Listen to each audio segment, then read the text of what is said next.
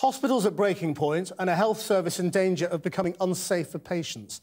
That's the stark assessment of the capital's healthcare system from the man in charge of running the NHS in London. The warning comes ahead of the publication of an NHS England report tomorrow, which reveals the city will be facing a £4 billion shortfall by 2020 unless there's fundamental change, including cutting services in some hospitals.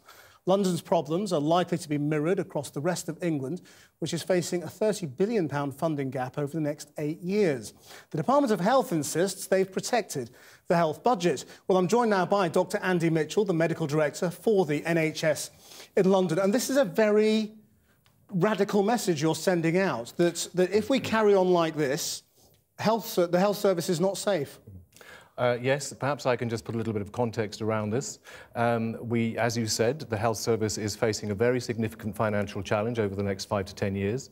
The difference between the funding that we expect from the funding that we have and the, the rising cost and demand of healthcare is of the order of £4 billion for London. So we are going to have to radically rethink the way that we provide services. So a lot of people will just say, well, set, spend the money, you know, spend more on the NHS? Uh, we, what we have to do is to actually ensure that we achieve best value expenditure. And what we have to do as well, very important in these circumstances, is to maintain quality and safety of services. And that's a key priority. What we, what we want to achieve, though, with the report that we're releasing tomorrow, is a wide debate with the public, with professionals, and with other care partners, because we ha do have some very radical decisions to make. And, and, that is about closing parts of hospitals, or whole hospitals in some cases. It's, it's about... And concentrating services in, in places where people will have to travel.